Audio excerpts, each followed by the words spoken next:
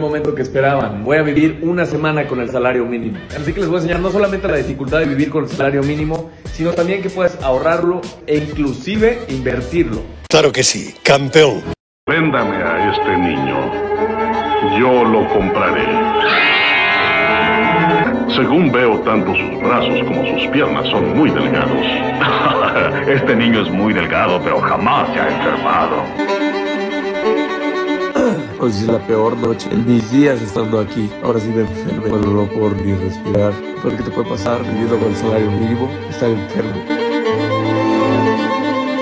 Tú debes trabajar para ganar tu sustento. Yo desprecio a la gente que no respeta su trabajo. No son personas de confianza. Nunca debes olvidar que antes que nada está tu trabajo. Vengan y compren sus ricos tamales oaxaqueños. Empecé a trabajar desde los 7 años siendo chalán. Me di cuenta de una oportunidad de negocio, los asientos que sobraban con mi TikTok pasado, los retapizábamos mi hermano y yo y los vendíamos. A los mis 7 años, mil pesos a la semana, estaba súper bien. He pasado hambre muchas veces, así como me he ido súper bien en los negocios, también me he ido súper mal. Es más, cuando yo iba a nacer, no teníamos que comer. Los Nepo Babies son sujetos que nacieron en cuna de oro. Gracias a que sus papis forjaron un imperio, pueden disfrutar de las miles del éxito sin necesidad de mucho esfuerzo. Una de sus tantas características es contar cómo desde pequeños tuvieron que chambear para salir adelante, sin ayuda de sus papis. Al estar en contacto con la abundancia, creen conocer todos y cada uno de los secretos del éxito. Los contactos que yo he hecho y los negocios que he hecho no han sido por mi papá, han sido por mis huevos. ¿A los cuántos años hiciste tu primer millón? Esta es buena, rey. En activos desde hace muchos años, pero yo tenerlos ya así en físico a los 18 años. No, Jordi, a los 24. ¿24? 24. Hartos de que les digan hijos de papi, ¿están seguros de que una persona que trabaja 8 horas o más, ganando el salario mínimo, si se esfuerza, puede vivir cómodamente como ellos? Así que les voy a enseñar no solamente la dificultad de vivir con el salario mínimo, sino también que puedes ahorrarlo e inclusive invertirlo. Ah, no pueden llevarse la camioneta. No podrían pagarla con el salario mínimo. ¿Y cómo llegaremos al departamento que encontramos? ¿Cómo se transportan las empleadas? ¡Ay! ¿No podemos viajar en el autobús? ¡Somos blancos! Sí, esta es, esta es. Señor, nos tenemos que bajar porque olvidó el monedero. Perdón. Quédense en este hermoso episodio donde habrá de todo. Historias de hambre, hochos, ricos viviendo con salario mínimo y mucho más. Pero antes, vayamos con la grandísima sección de los ídolos, brontosaurios, velociraptors, killers, cracks del canal y sus enormes comentarios.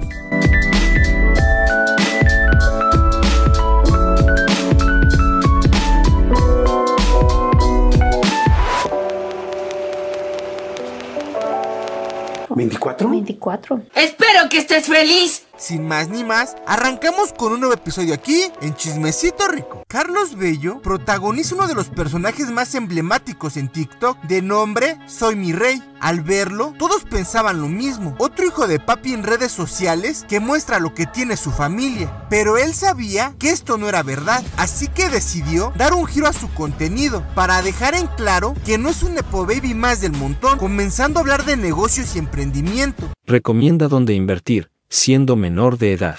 La única solución que tienes. Pedirle permiso a tus papás para poder usar su nombre, verificarte con su identificación oficial. Es para incrementar tu límite de ingresos y egresos. Changes les recomiendo Binance, Crypto.com, OKEX, KuCoin. Si quieres algo más underground, SushiSwap, Uniswap. Compra las monedas que les recomendé en el video de este comentario.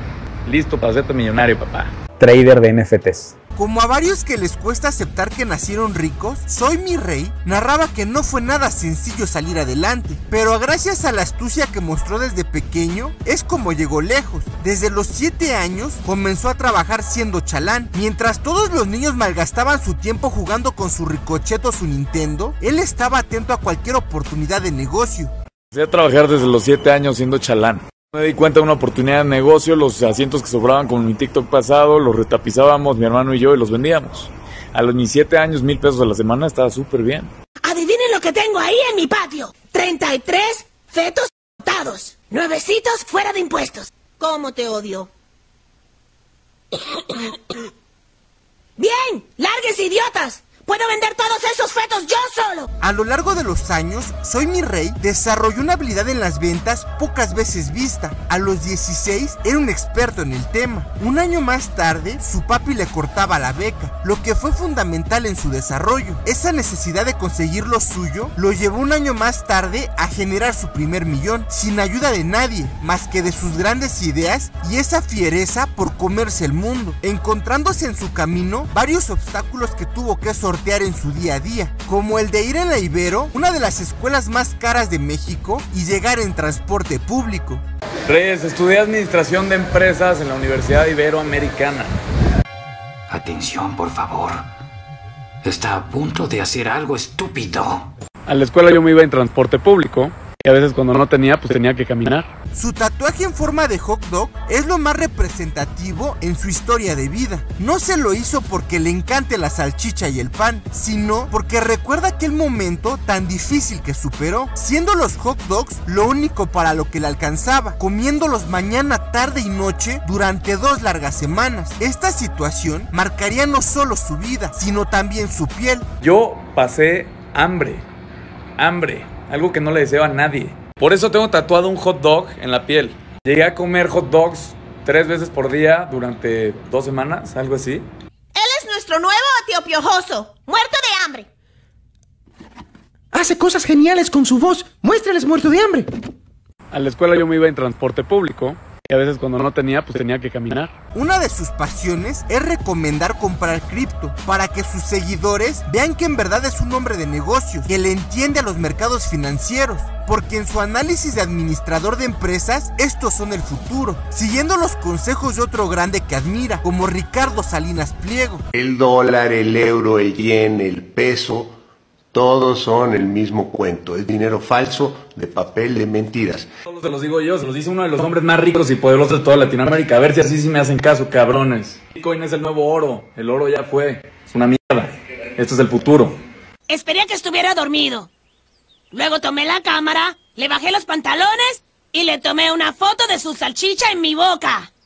La hora de demostrarle a sus haters que no es ningún junior o hijo de papi privilegiado había llegado, lanzando un reto para que no quedara duda. Soy mi rey tendría un salario mínimo que usaría de forma muy inteligente, viviría dignamente, ahorraría e invertiría. Al llevarlo a cabo, terminaría con esas excusas de los pobres. Para fines prácticos, el no hijo de papi no pagaría ni renta, ni luz, ni agua, ni internet, ni despensa. Ningún gasto de la casa donde vivía correría a su cargo y mucho menos trabajaría 8 horas diarias. Básicamente, no haría nada de lo que hacen las personas que ganan el mínimo. Solo sería la mente brillante, el financiero que movería 207 pesos diarios y pondría a chambear a todos los demás, ya que el primer paso para ser rico es pensar como rico, como dueño, jamás como empleado. A partir de enero de 2023 el salario mínimo aumentó a 207 pesos, pero mi idea es multiplicar ese dinero. Como no tengo dónde vivir, yo a Alba y a su familia las he ayudado, así que ellas ahora me van a ayudar a mí. En este momento yo no uso gas. Yo sé que no estoy pagando en este momento renta. Podría vivir en la calle, quizás sería mucho más difícil, pero encontré un plan celular que cuesta 10 pesos por día todo eso se le llama ser emprendedor, ¿no? Los ahorros comenzaban desde el día 1, bañándose con agua fría, ahorrando en gas, comiendo menos para no malgastar en comida. El primer contacto con el mundo real para echar a andar su emprendimiento era emocionante y duro a la vez. Soy mi rey vivía cosas nuevas, como pasar su pasaje en la combi. Ahí me lo pasas, por favor. Ah, listo. Siempre había querido pasar el dinero en la combi. A la escuela yo me iba en transporte público y a veces cuando no tenía, pues tenía que caminar. Se portó como toda una perra chismosa. La fantástica idea de este superempresario era vender tamales, así que compraba hojas de plátano para envolverlos, gastando así casi todo el presupuesto de su día, comenzando su negocio sin saber el precio de los insumos. Van a ser 150 por todas estas hojas, así es que tenemos que hacer que sea redituable porque solo me van a quedar 50 varos. Ya lo hay si nos asociamos, porque yo ya no tengo varo. Sí. Anda corriendo detrás de una pelota. Disculpe, señor Burns, ahora que está totalmente arruinado, ¿cómo se siente? A la escuela yo me iba en transporte público y a veces cuando no tenía, pues tenía que caminar. Caramba, huele horrible. Suerte, señor. Al ver que el dinero no rinde lo mismo, si papi no te lo da, buscaba la forma de mandar un mensaje fuerte y claro. Se acercaba a los puestos para tirar su basura y ganarse así una propina. El esfuerzo fue tal que en medio camino se ahogaba. En su vida había trabajado tan duro, sin el negocio familiar en marcha respaldándolo. Tiro la basura y me das una propina, lo que tú quieras. Va, ¿Dónde, ¿Pero dónde está el tiradero? Hasta la esquina del Pues me la rifo. Voy a voy a echar todo esto aquí. Ah, aguanta. Está pesado. ¿Qué es esto? Usted debe estar bromeando. Es tan hábil que se cuenta que primero vendió y después caminó. Al tener los tamales listos, sin haber hecho uno solo, el maestro en ventas, capaz de vender la luna, recurría a la estrategia más antigua para promocionarlo dejando muestra que las técnicas avanzadas de venta son lo suyo. ¡Tamales! ¡Tamales! ¡Tamales! ¡Oaxaqueños! Vengan y compren sus ricos tamales oaxaqueños. Los mejores y más ricos tamales que nunca han probado en su vida. Ese sujeto nos tendrá tanta lástima que querrá comprarnos todo el chocolate.